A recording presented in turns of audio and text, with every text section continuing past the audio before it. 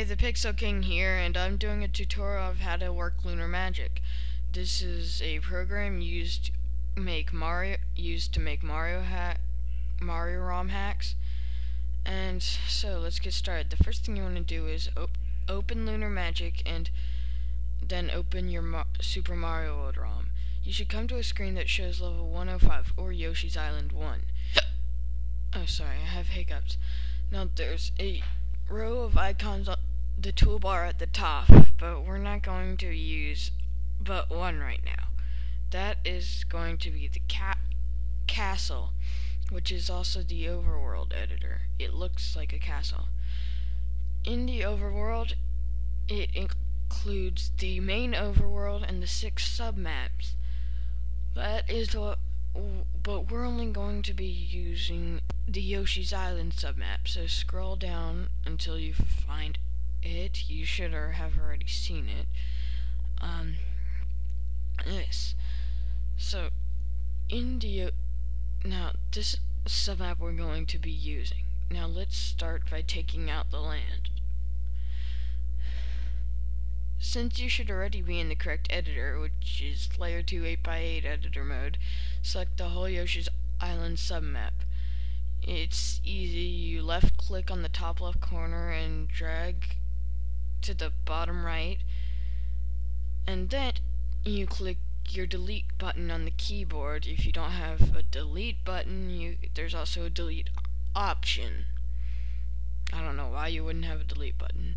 Okay, now you see that there's a lot of other stuff like clouds and yeah and capsules and stuff we want to get rid of these by clicking on layer 1 16 by 16 editor mode it looks like the ghost house um after you delete these the same way you did with the land notice Mario and the smoke are still there this is because these are sprites. We're not going to delete them, so click on the sprite editor mode to move them away it looks like a Lakitu.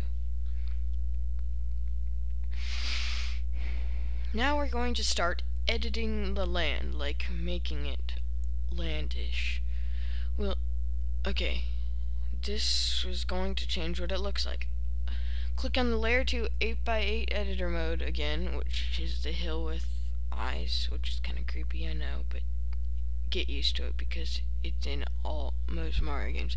Now click on the three-fourths shaded iceberg on the top, which is the open.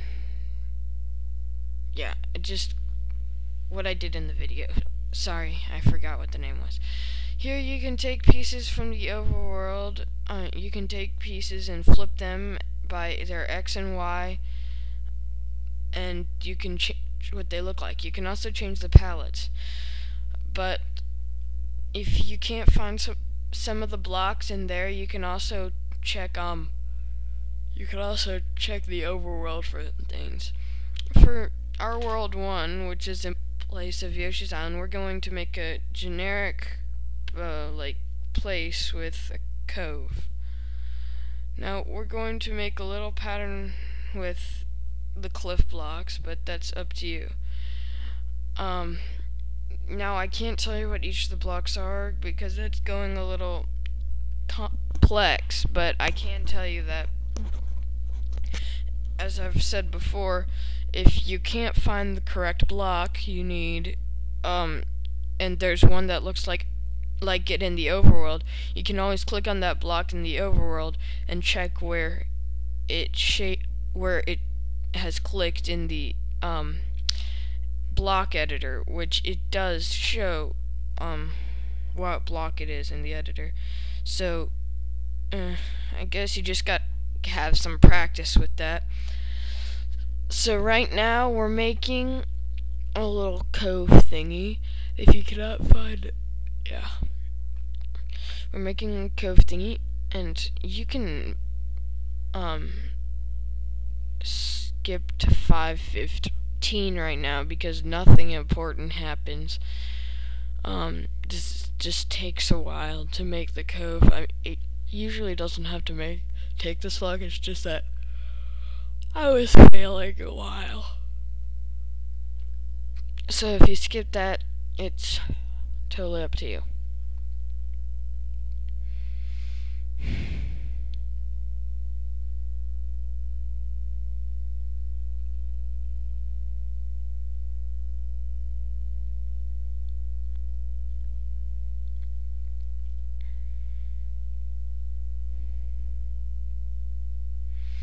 Now we're making the um, left side. You have to flip X because it for on the block editor it only shows it being the right side. So you're going to have to flip X and once again I'm making little patterns. You don't have to do that. It's just uh, it doesn't make it so boring. Oh, and the patterns I'm doing with the with the blocks are like the normal side, the normal cliff, and then the cliff with the little cutout in it. Um, sometimes you will have to use a different palette for certain things, such as the bottom of cliff going into water, like I'm going to have to do now. Um, see, what happens is, um, you can use different palettes on the same submap. oh, sorry. Um, it's it doesn't affect it, but sometimes the submap will um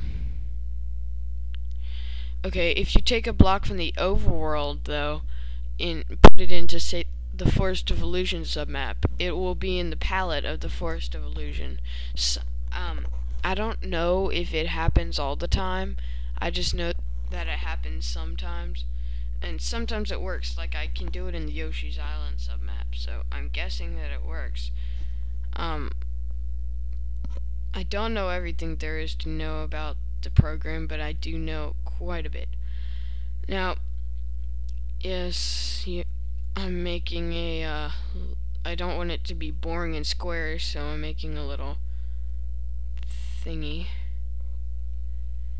that's like, yeah, you get it. You can see, can't you? You have eyes, otherwise you wouldn't be watching a video.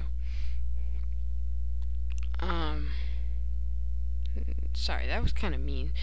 Anyway, um, now what I'm going to be doing is I'm going to be making the, um, cliff part.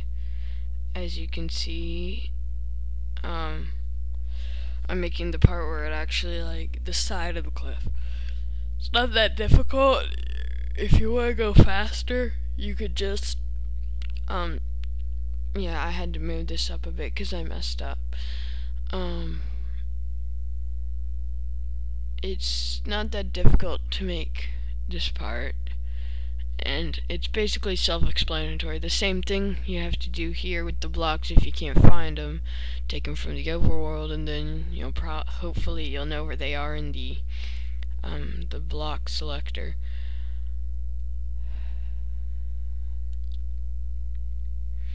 once again taking forever here uh, if you don't want to watch this all feel free to skip because mm, feel free to skip ahead yeah hopefully next time I go faster. But this is the basic idea of overworld editing. This is just to make like different things see and now we have just made the side. We just made the cliff going into the water but you have to take note that it's not the same color as the water in Yoshi's Island is not the same color as the water.